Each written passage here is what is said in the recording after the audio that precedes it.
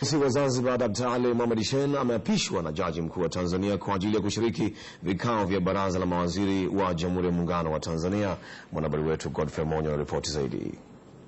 Kuapishwa kwa rais wa Zanzibar kuingia baraza la mawaziri wa Jamhuri ya Muungano kunatokana na Katiba ya Jamhuri ya Muungano wa Tanzania kifungu 54 ibara ya kwanza ambayo inawataja wajumbe wa baraza la mawaziri kuwa ni makamu wa rais, waziri mkuu, rais wa Zanzibar na mawaziri wote.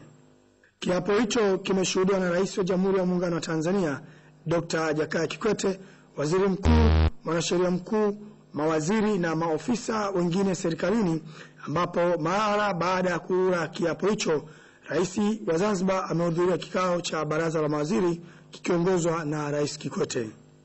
Mara baada ya baraza la mawaziri kukamilika jioni leo, rais ameondoka kuelekea Paris, Australia, kuhudhuria kikao cha nchi wanachama wa Jumuiya ya Madola kinachofanyika kuanzia tarehe 28 hadi 30 mwezi huu. Kabla ya mkutano mkuu kuanza tarehe 25 Oktoba, kutakuwa na vikao kadhaa kikiwemo kikao cha wafanyabiashara ambacho Rais Kikwete anatarajiwa kutoa hotuba ya ufunguzi na baadaye kujumuika na viongozi kadhaa wa nchi chache katika kikao maalum na wafanyabiashara. Rais anatarajiwa kurejea nchini tarehe moja Novemba mwaka huu. Mapema asubuhi, rais amepokea hati za utambulisho kutoka kwa mabalozi kutoka Sudani na Japani. Balozi mteule wa Sudani Yasiri Mohamed Ali amewakilisha hati zake kwanza na kufuatiwa na balozi Masaki Okada wa Japani.